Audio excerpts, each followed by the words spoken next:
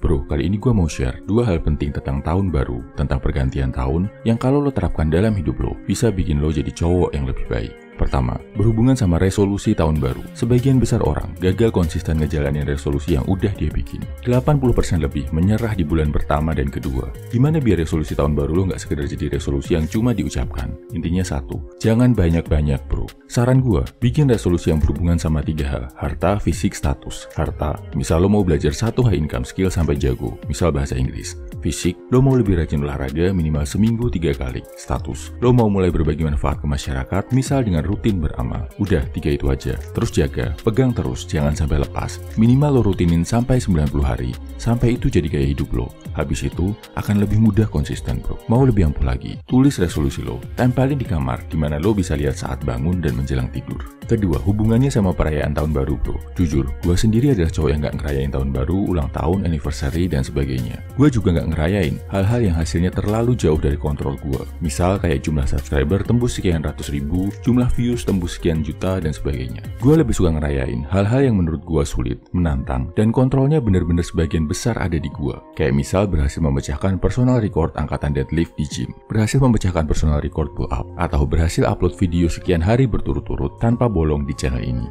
Tapi, kalaupun lo mau ngerayain tahun baru, nggak masalah bro, boleh banget. Apalagi kalau dengan ngerayain tahun baru ini, lo jadi bisa lebih dekat sama keluarga, sahabat, dan orang-orang tersayang. Pesan gue, sebelum merayakan tahun baru, ingat dua hal ini bro. Pertama, bersyukur. Berterima kasih ke Tuhan karena lo udah diberi kesehatan dan kekuatan sampai bisa survive melewati tahun ini. Kedua, introspeksi. Lihat ke belakang. Evaluasi hidup lo dalam setahun ke belakang. Apa aja yang udah bagus, apa yang bisa ditingkatkan, apa yang harus dikurangi, dan apa yang wajib ditinggalkan di tahun depan. Lakuin perayaan tahun baru dengan rasa syukur dan introspeksi. Otomatis, lo akan beda dari sebagian besar orang yang cuma mengisi malam perayaan tahun baru dengan kesenangan sesaat. Selamat buat lo bro, para pria yang berhasil survive melalui tahun ini. Siapkan tenaga lo, perjuangan kita masih akan berlanjut di tahun depan. Salam High Value Man, semangat bro.